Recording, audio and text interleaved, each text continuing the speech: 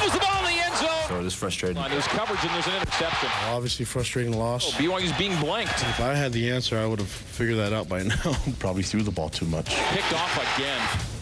Really frustrated. I know where we sit, and I know how to get fixed and, and how to improve. Well, on Monday, BYU announced that it had relieved Ty Detmer as offensive coordinator. This season, the Cougars were in the bottom seven in the nation in scoring offense.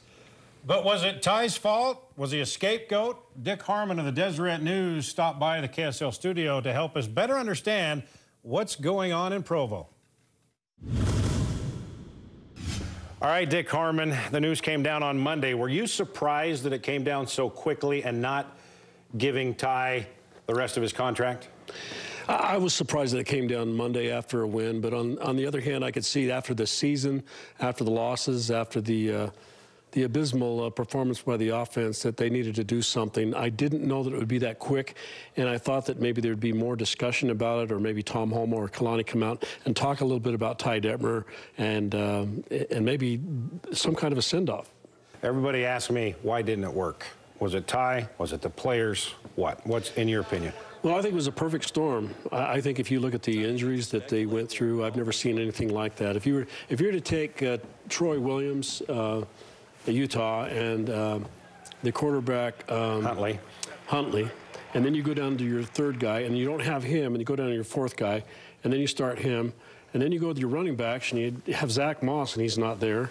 You go down. Who's your second? Shyne. Shyne. Shyne was injured at the beginning. McCormick. Okay, we get okay, what you you're through, saying. You go right down. Go to number six. Yeah. Okay. Are they in a bowl game? So there was a lot of things that I haven't seen before as far as injury to this team. And it was a young team to begin with when they opened up the season. Well, don't you think that Kalani and Tom Holmoe, the athletic director, would take that into consideration, all those injuries, and saying, okay, let's give it one more crack? There had to be something else. Well, I, I think I think that it came to the point when you look up in the stands and you're seeing 47,000 people there, you're seeing the student body not show up, you're maybe getting some calls from boosters, you're feeling the pressure, your brand's being hurt, you need to do something to make a move. So I can understand that they make a move. The science of football says that when you have a season like that, a coordinator's got to pay the price. And I think that uh, Ty paid the price of that. I still think he could be salvageable. Really? I do. Mm -hmm. Do you think this is a case where Ty just hadn't had that experience and was overwhelmed, or do you think, like you said, it was a perfect storm? Uh, I think that that's another part of the storm. His staff, uh, some of them had not been in coaching uh, before they got the job. Um, Mike Empey, who I think is a great offensive line coach, had been out of the business for you know 10 years. Uh, Reno Mahe, uh, NFL player but hadn't coached before. Ben Cahoon had been called back. He was in the medical profession. Um, that may have been a, a part of it. But I've talked to players Rod, who told me after week three, we are not doing what Ty has asked us to do. And he, he wasn't trying to point fingers, but he said there are some people that were just simply not doing Players. Players were not performing and executing the things that had been taught, the things that they understood, and they were going over. It was it was a little maybe either too hard for them, or they weren't getting it, or they weren't good enough to get in the position that they needed to to perform. Okay, that being said, you look ahead. They've got to get an offensive coordinator here rather quickly because everybody's out recruiting right now, and the offensive guys not knowing if they have a job when they come back. Oh, absolutely. Um, in fact, the guys are out recruiting. Uh, you know, right now they're spread across the the country trying to get some of those things done. A couple of things about BYU: they don't do it quickly. If they had somebody in mind, then that, Bush, that, that would have been pushed, and they would have them on staff. They'd have this thing going right now. So there really are maybe opening it up uh, taking a look at people. They may have somebody in mind. They're going to go two different ways. They're either going to get a sage guy like Utah did with Dennis Erickson mm-hmm. and come in and have him build a staff and maybe use some staff that are there, including Detmer, or they're going to go with a young guy, maybe like Paul Peterson at Snow College. You could bring in uh, Kevin McGiven, who just got fired at Oregon State, mm-hmm. former BYU. Utah State. Uh, as well. Up, up at Weber State, you got Fesi Sitake, and maybe that last name might not get him a real true consideration. But yeah. his offense uh, threw for 600 yards on the University of California, Berkeley. And uh, he, will be playing in the playoffs. I'm going down there at Cedar City against SUU. He's a candidate. You go down the line, there, there are people out there, but the, there is not a great list of people that is deep that can fit into the BYU situation. Aaron Roderick, former co-offensive coordinator at Utah, former BYU player. Talk about him. What are your thoughts with that?